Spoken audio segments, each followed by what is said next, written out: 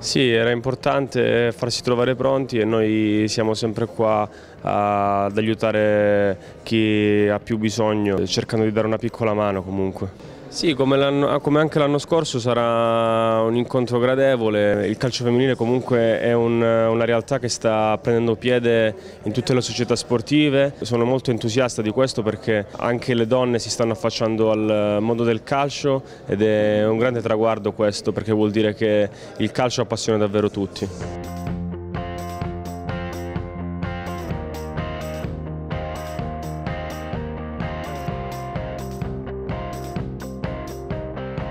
Sì, diciamo che è un bel titolo e abbiamo fatto una gara come, come, quelle che sono state anche le altre. Purtroppo siamo usciti solo con un punto dalla, dalla gara di Pisa ed è un grosso rammarico vista le, la mole di gioco che la squadra ha prodotto e le occasioni, le occasioni prodotte dalla squadra. È un grande rammarico uscire con un solo punto, però eh, ci fa ben sperare per il, per il futuro. Sì, noi teniamo sempre i piedi per terra perché è giusto, giusto, che sia così, anche perché il campionato è molto ostico e difficile e non vogliamo fare voli pindarici e fasciare, doverci fasciare la testa poi in, in seguito. Siamo felici di questo anche perché sì, il gruppo è unitissimo, i ragazzi hanno fatto un gruppo meraviglioso ma già dall'anno passato, poi hanno, sono riusciti ad amalgamare il tutto con i nuovi arrivati e hanno fatto un gruppo solido. Per quanto riguarda la società è sempre la stessa da anni, con qualche new entry, però diciamo che mm, è una società a conduzione familiare, quindi eh,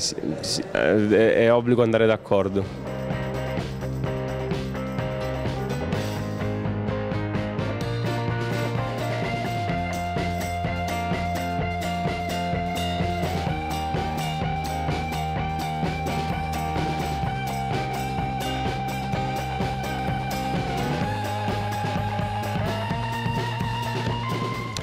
Assolutamente sì, eh, perché noi vediamo lo sport magari, siamo abituati a vedere lo sport soltanto come gioco, come divertimento, ma lo sport in questo caso rappresenta un eh, eh ineguagliabile canale comunicativo. Quello che l'associazione Nicol Ferrari fa è, mm, è operare nel, nel sociale in virtù di un messaggio che ha dato la persona a cui è dedicata l'associazione che eh, era anche mia sorella, eh, che donando i suoi organi ha regalato nuove prospettive di vita a quattro persone. Quindi l'associazione scende nel sociale per rivolgere il proprio sguardo, la propria attenzione a quelle che sono le disabilità, quindi le persone che hanno bisogni particolari.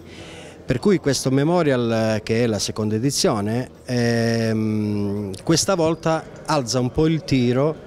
e attraverso diciamo, questo canale comunicativo come il calcio ehm, si è proposto di presentare in via ufficiosa ovviamente perché c'è una bozza di un progetto eh, alzando un po' il tiro all'amministrazione comunale di un parco giochi inclusivo per ragazzi diversamente abili che eh, sarà quindi uno spazio di aggregazione in cui i giochi saranno fruibili contemporaneamente sia dal ragazzo normodotato che dal ragazzo diversamente abile. Noi lo abbiamo visto un po' come contenitore questo parco perché all'interno ci sono due altri percorsi, non meno importanti ovviamente, uno è un laboratorio di teatro inclusivo che sarà diciamo, curato dall'associazione Controtempo Teatro di Andrea Giuda e Roberta Moscò è un laboratorio di arte creativa manipolativa per, proprio per quel senso di inclusione e integrazione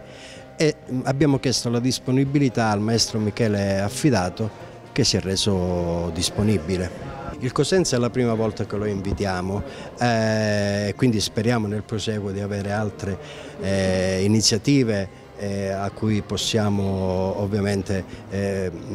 invitare il Cosenza eh, e che accetti di buon grado come ha fatto subito in questo caso. Il Crotone, eh, spendo due parole perché sulla sensibilità e la disponibilità del Crotone eh, si dice sempre tanto e non si dice mai abbastanza perché il Crotone eh, oltre alla disponibilità che ci dà dell'impianto, della struttura, eh, mostra verso queste iniziative veramente un'indiscussa sensibilità. Eh, il Catanzaro ehm, è diciamo, prima parlavo, dicevo, di quel rapporto che è lo sport, lo sport è soprattutto amicizia, no? eh, tanti dovrebbero capire che dietro il calcio di un pallone si può regalare un sorriso, si può trovare un sorriso. E il Catanzaro Calcio Femminile rappresenta un po' in toto questa cosa perché è allenata da mister Tato Sabadini che è stato, io mi pregio l'onore di aver giocato anche con lui, quindi questa storia che dura in modo trentennale anche di amicizia e solidarietà.